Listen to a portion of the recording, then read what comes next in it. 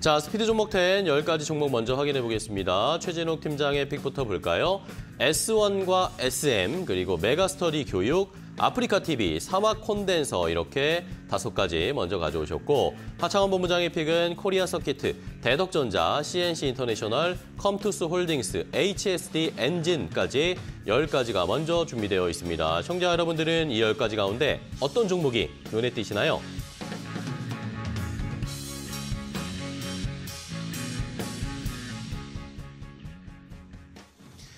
자, 두 분이 이렇게 10가지 종목을 먼저 선정해 주셨습니다. 청자분들 보셨죠? 이 종목들, 이 리스트에 있는 종목 가운데 여러분들이 가지고 계신 종목이 있어서 아, 이 종목 어떻게 대응을 해야 될지 모르겠습니다. 아니면 관심이 생긴 종목이 있으시면 매수가, 목표가 알려주세요 라고 저희에게 질문 주시면 두 분이 친절하게 자세하게 답을 해 주실 테니까요. 많이 지금 어, 질문을 보내주시면 되겠습니다. 자, 그럼 바로 릴레이를 시작을 해보겠습니다. 오늘은 최진욱 팀장님의 첫 번째 종목부터 바로 갈까요? 네, 저는 이제 첫 번째로 에스원을 좀 준비를 했습니다. S1, 네. 네. S1 같은 경우 지금 삼성 계열사의 좀 경비 업체로 생각을 하시면 되시는데 어, 최근에 좀 법제화 의무 영향으로 인해 가지고 지금 뭐 수술실이라든지 공사 현장 등에 대한 CCTV 설치가 지금 의무화가 되고 있는 상황이죠. 어, 그러다 보니까 지금 S1 측 같은 경우는 단품성 산무 판매가 좀 증가를 해주면서 네. 여전히 좀 안정적인 실적 성장이 꾸준하게 좀 나와주고 있는 상황입니다. 어, 그래서 S1 같은 경우 지금 안정 적인 가입자 수 역시도 지금 확대가 계속되고 있는 상황이다 보니까 오히려 지금 꾸준한 매출 성장세는 내년까지도 계속 이어질 가능성이 좀 높다고 보고 있는 상황이고요. 또한 지금 삼성 그룹사의 지금 자본적 지출 영향으로 인해서 어, 시스템 보안이라든지 통합 보안 쪽에 있어서의 신규 수주까지도 충분히 기대를 해볼 수 있는 시기라는 점까지 좀 말씀을 해드리겠습니다. 네. 그래서 현재도 지금 꾸준히 쌓이고 있는 부분들이 지금 현금 여력 부분들입니다. 그러니까 수주잔고 부분들이 계속해서 쌓이고 있는 부분들로 볼 때는 어, 앞으로 좀 친화적인 주주 환원 정책까지도 충분히 고려를 해볼 수가 있기 때문에 오히려 좀 상승 모멘텀이 현재 지금 부재한 상황이긴 하지만 앞으로 좀 실적 성장이 고르게 좀 나와주면서 주주 환원 정책까지도 충분히 긍정적으로 바라볼 수 있다고 하게 되면은 네. 충분히 좀 주가의 상승 모멘텀은 좀 탄력을 받을 가능성이 좀 높다고 보고 있는 기업 중에 하나입니다. 어, 그렇기 때문에 현 시점에서는 오히려 큰 상승 모멘텀이 없어도 충분히 계속해서 좀 모아갈 수 있는 전략이 좀 유효하다고 생각을 하고 있고 지금 일봉상에서 2년선 지금 돌파 라인 근처에 좀 위치를 해주고 있습니다. 어, 그렇기 때문에 충분하게 이번에 좀 돌파 흐름들이 나와준다고 하게 되면은 어, 지지까지 확인을 하시게 되면은 오히려 좀 우상향 기조를 충분히 계속해서 좀 느껴보실 수 있지 않을까라는 관점으로 말씀해드리겠습니다. 네, 좋습니다. 에스원을 첫 번째 종목으로 소개를 해주셨고요. 자, 이번에는 하창원 본부장님의 첫 번째 종목 소개해 주시죠. 네, 코리아 써키트입니다. 코리아 써키트. 네, 뭐 다들 잘 아시겠지만 대표적인 기판 업체인데요. 어, 기판 업체들 중에서도 좀 최근에 급등이 나왔죠. 이제 CXL이라는 좀 테마로 엮이게 되면서 이 사업 계획 보시면은 그 SSD 쪽에 기업용 SSD 쪽에 이제 CXL 관련된 사업을 영위하고 있다라는 내용이 있거든요. 그래서 그게 부각이 되면서 어, 주가가 좀 강하게 상승력이 나왔습니다. 물론 이제 CXL이라는 부분들이 좀 붙어 있기는 하지만 뭐 사실 소재나 이제 기판 단위 반도체에서는 뭐 향후 사실 좀 접근하시기 가장 좀 용이한 부분이긴 하거든요. 그래서 그런 부분이 있음에도 불구하고 어, 사실 좀 관심을 가져 보시면 좋을 것 같다라는 생각이 좀 들고 있는 상황이고요.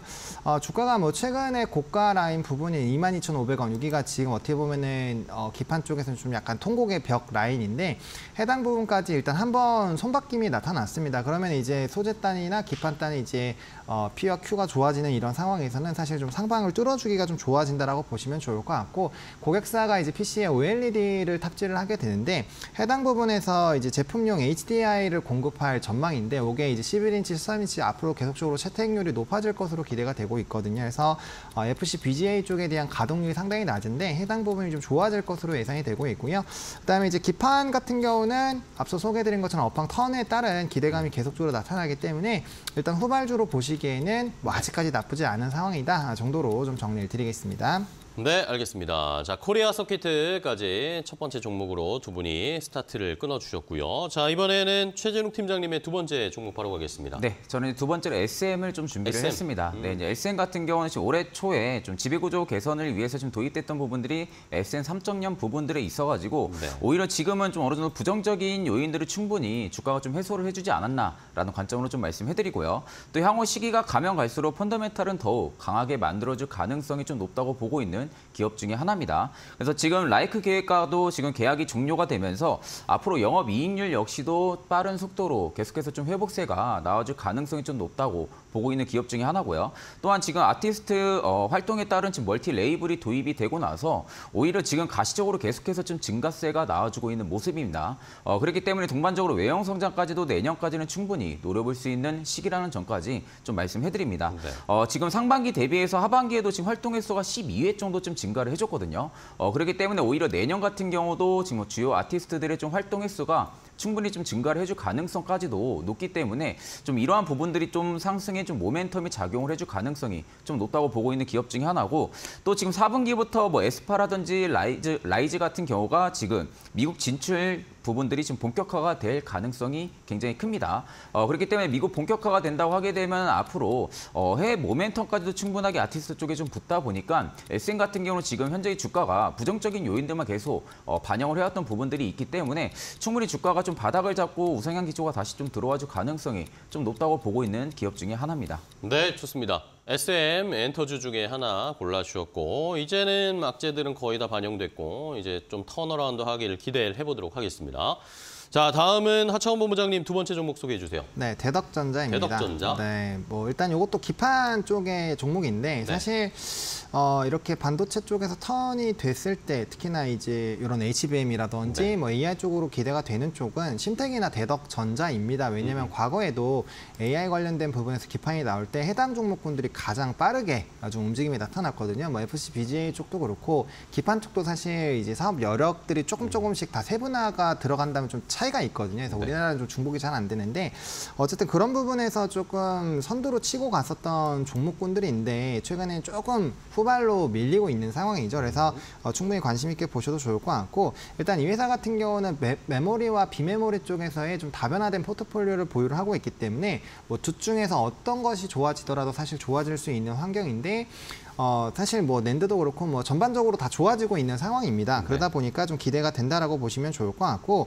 비메모리 쪽이 회복이 됐을 때가 이제 진짜 전반적인 업턴이 나올 것으로 좀 예상이 되고 있는데 그 시기 자체가 일단은 25년 정도로 좀 예상이 되고 있거든요. 그래서 어, 좀 선반영 된다라는 부분들 좀 선행한다는 관점을 봤을 때는 적어도 어, 1분기, 2분기부터는 좀 빠르게 좀 가속도가 나타날 수 있고 이 시기 자체가 반도체 피크아웃 우려가 나올 수 있는 2분기 이전에서부터 사실 스타트를 끊을 수 있기 때문에 어, 충분히 관심 있게 보시면 좋을 것 같고 또 특- 특히나 DDR5 관련된 또 수혜가 어, 기대가 되는 종목이다 정도로 좀 정리해 드리겠습니다. 네, 좋습니다. 대덕전자까지 기판 관련 종목을 하나 소개를 해주셨어요.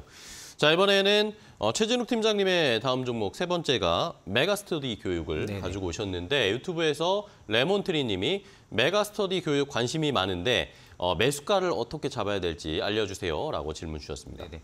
어, 일단 매수가 같은 경우는 현 시점에서도 뭐 5일선을 이탈 안 해준다고 하게 되면 충분하게 어, 분할 매수 관점으로 지금은 충분히 어, 진입을 해볼 수 있는 매력적인 구간이라고 좀 어, 말씀을 네. 해드리겠습니다.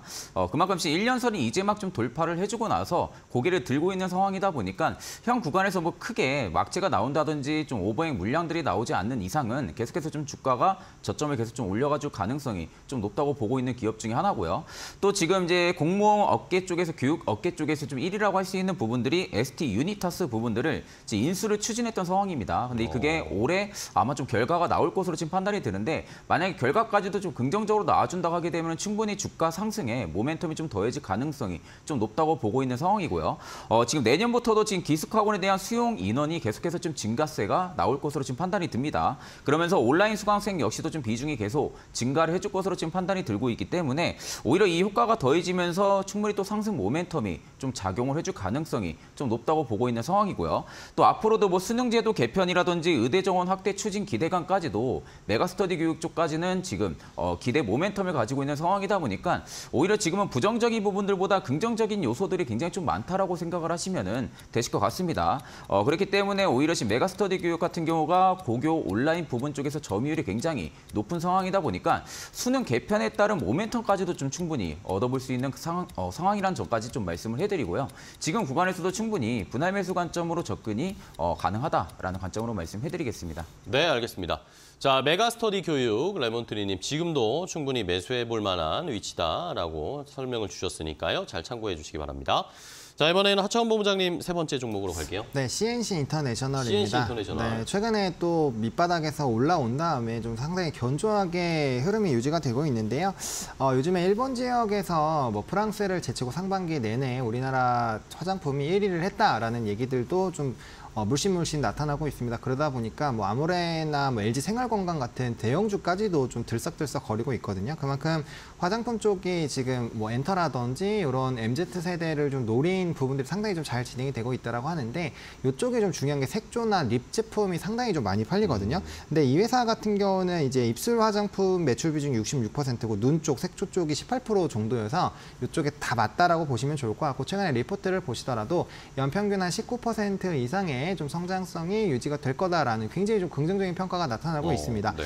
어, 사실 굉장히 작년부터 업황이 좋아지게 되면서 실적이 많이 좋아졌었던 이런 색조 OEM 쪽인데 그럼에도 불구하고 아직까지도 어, 성장에 대한 모멘텀이 상당히 좀 높다라는 평이 나오고 있다는 건 상당히 좀 긍정적이고요. 또 이제 제품의 포트폴리오가 상당히 다양화가 되어 있는 것도 좀 긍정적입니다. 그리고 이제 라인업을 굉장히 다양화할 거고 스킨케어 쪽으로도 지금 확대를 나아갈 것으로 기대가 되고 있거든요. 그래서 어, 높은 점유율을 바탕 으로 해당 부분들이 차곡차곡 늘어난다라고 한다면 어, 굉장히 좀 탄탄해질 수 있고요. 또 주요 고객사들이 수출 지역을 계속적으로 확대를 하고 있기 때문에 거기에 따른 수혜도 계속적으로 좀 받아져지고 있다라는 부분도 어, 긍정적인 포인트로 말씀을 드리겠습니다. 네, 좋습니다. CNC 인터내셔널까지 실적 개선이 올해 또 눈에 띄는 모습이었죠. 내년에도 한번 어느 정도로 좋아질 수 있을지 주가의 흐름까지 같이 체크해 보겠습니다. 자, 이번에는 최진욱 팀장님의 네 번째 종목이죠. 저는 이제 아프리카 TV를 좀 준비를 했습니다. 아프리카 TV. 네, 이제 아프리카 TV 같은 경우가 최근에 이제 트위치가 국내 서비스를 종료한다라는 이유 때문에 좀 네. 엄청난 상승세가 좀 불러왔던 부분들이 좀 있는데 오히려 지금 높은 운영 비용이 계속해서 좀 적자가 나왔다 보니까 트위치가 일단은 사업을 철수라는 부분들을 좀 선택을 한 겁니다. 네. 어, 일단 지금 네이버가 지금 시장에 침투를 하는 지금 가능성이 있기 때문에 오히려 오늘 나온 이슈가 지금 뭐 트위치랑 아프리카 TV랑 또 논의를 하고 있다라는 이야기가 지금 나와주고 있는 상황이지만 오히려 지금 긍정적으로 아프리카 TV 쪽에는 모멘텀이 작용을 해줄 가능성이 좀 높다고 보고 있는 상황이고요.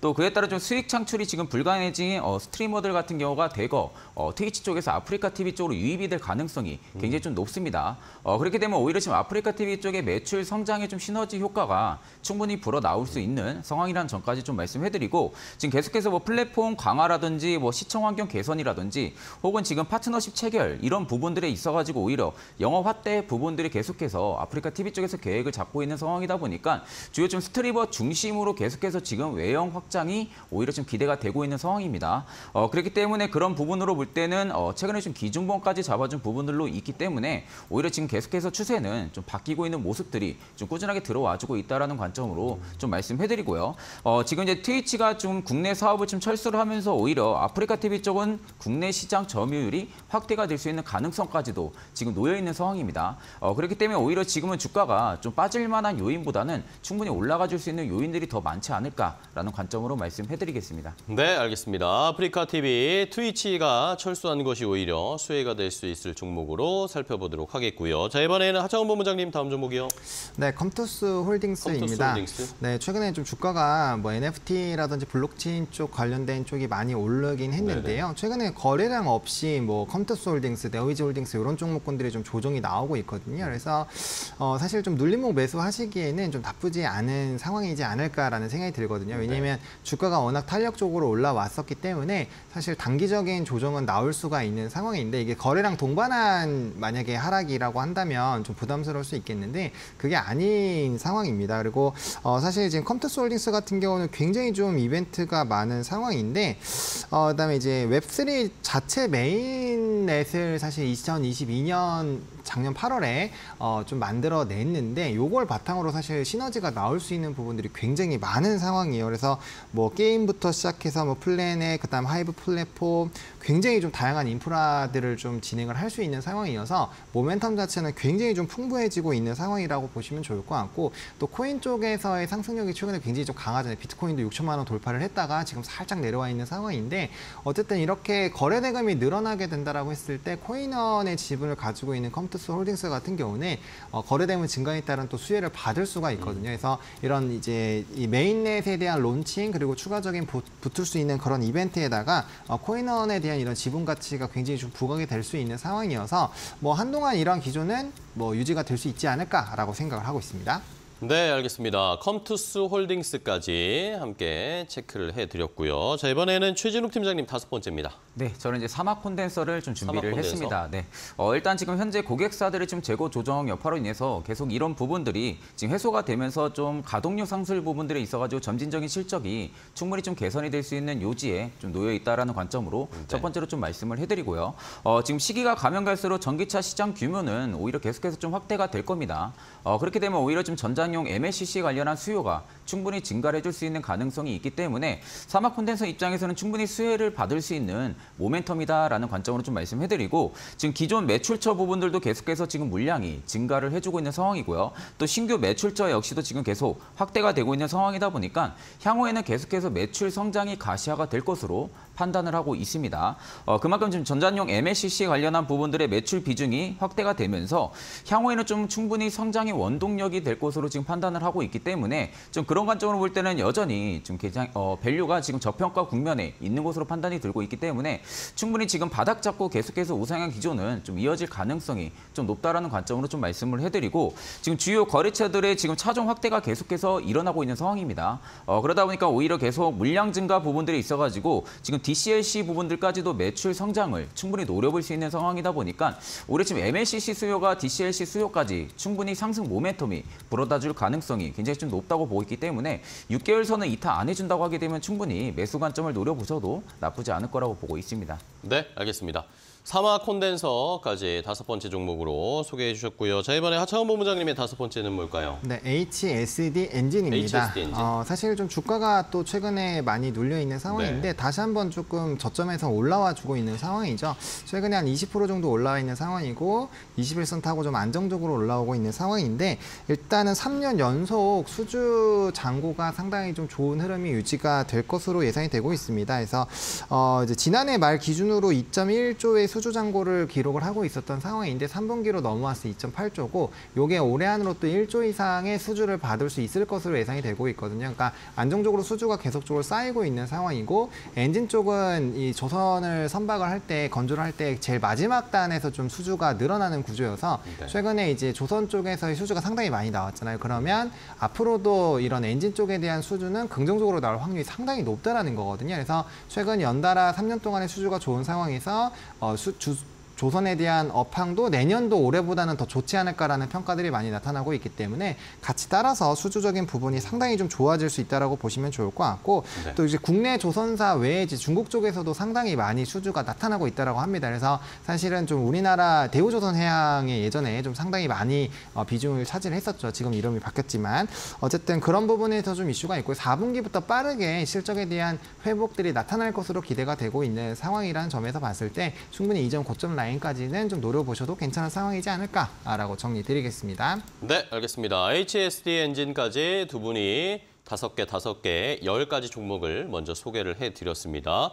저희가 이렇게 전해드리는 방송 내용은요, 시청자 여러분들의 투자에 참고가 되는 내용 알려드리는 겁니다. 최종 투자 판단과 결정은 시청자 여러분들께서 직접 내려주셔야 한다는 것은 다시 한번 강조를 드리겠습니다.